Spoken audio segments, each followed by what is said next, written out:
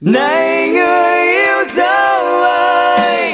em đã nghe gì trong tiếng sông, biển xanh với nắng hồng em đẹp như ngàn năm cô tích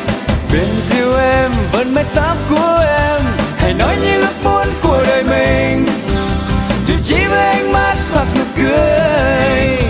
cầm bàn tay rồi chấp. thấy